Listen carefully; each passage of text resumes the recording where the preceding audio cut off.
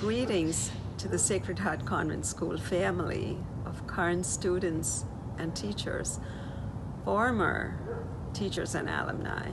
I feel honored to be asked to say a few words on the occasion of the school's Platinum Jubilee celebration.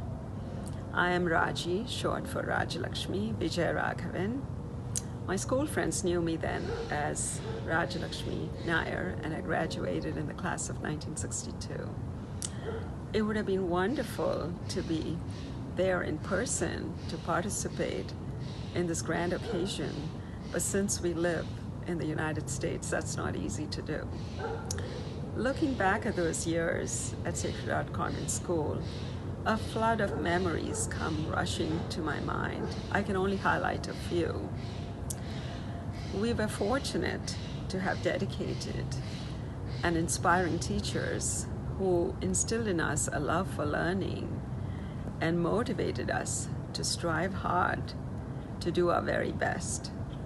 Teachers Philomena and Rita, sisters Frida and Jan and Vera, and a host of others come to mind. It was an encouraging and nurturing environment mixed with a dose of healthy competition.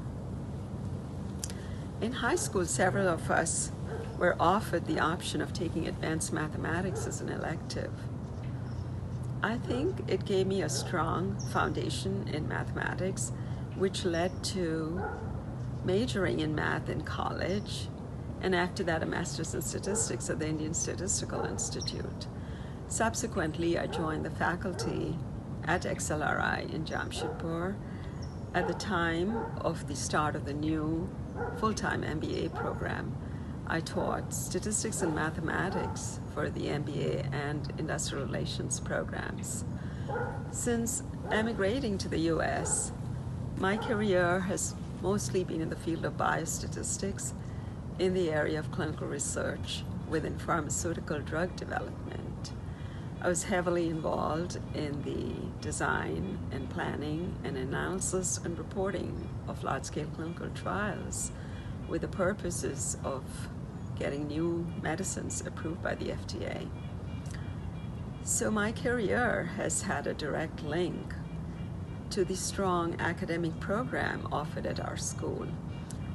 I can also trace my appreciation for literature to the exposure we had to poetry, essays, and books back then. To this day, I remember some of the poems and passages we learned and memorized then.